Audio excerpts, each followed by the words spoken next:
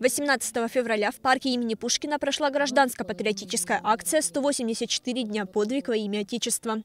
Она приурочена к значимому событию – 78-й годовщине освобождения Северского района от немецко-фашистских захватчиков. В мероприятии приняли участие глава района Адам Джерим, глава Северского сельского поселения Андрей Дорошевский, волонтеры Победы, представители казачества и общественность.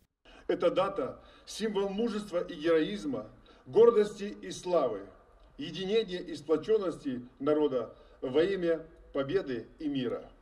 Тяжелейшие испытания выпали на долю жителей и защитников.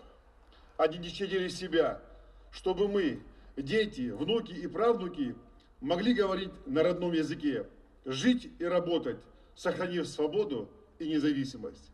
Честь павших защитников Родины почтили минуты молчания, а районный казачий военно-патриотический клуб «Восход» дал залп из ружей.